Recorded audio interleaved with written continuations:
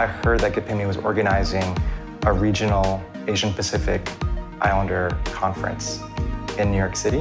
I think what that did was it just sparked a lot of energy and excitement about what was possible. And then I got to attend the Creating Change conference uh, in Oakland where there was an API caucus where um, the question was just called like, how do we keep building? How do we take this to a national level? So I was there in 2005. From the conversations that happened that weekend, uh, NQAPIA in many ways was formed.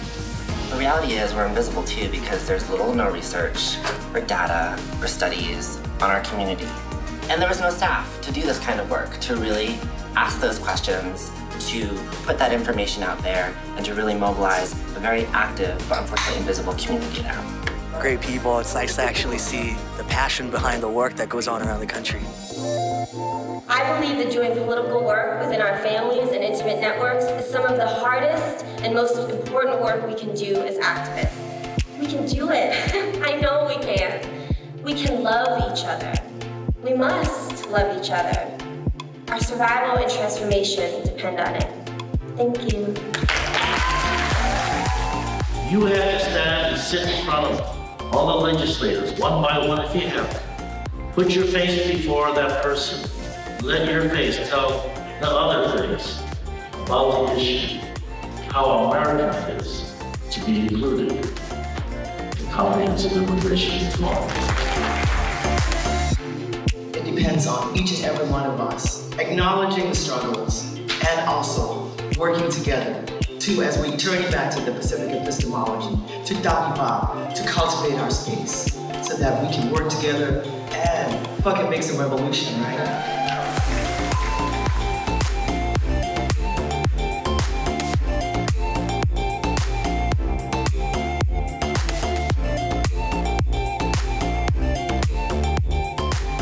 Film and actor Conrad Ricamora received the Community Catalyst Award from the National Queer Asian Pacific Islander Alliance NQAPIA over the weekend. It means the world to me. Uh, I mean, I, the work that they do, uh, bringing acceptance and promoting equality and justice for Asian Americans, is just really important.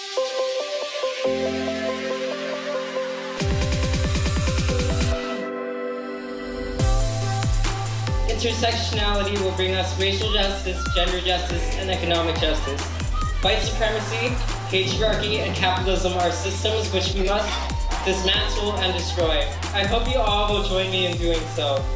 Liberation is on the horizon, y'all. So our goal is for each person to be able to have two to three conversations. So when you get one of your yeses, uh, go ring the bell so that we can all keep the energy up and celebrate.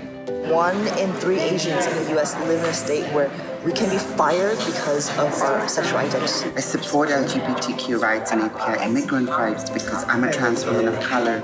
Thank you so much for taking action with us. Have a good day. Yay, my first call.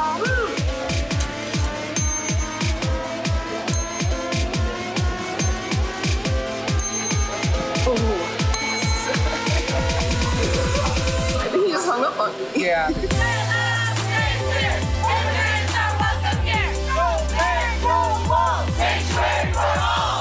It is not just all of us that are gathered here. It is every person.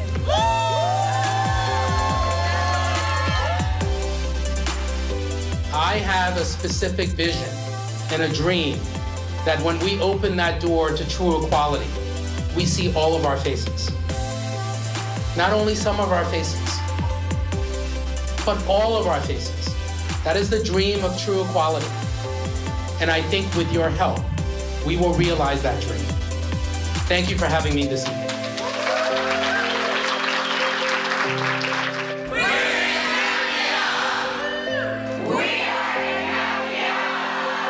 We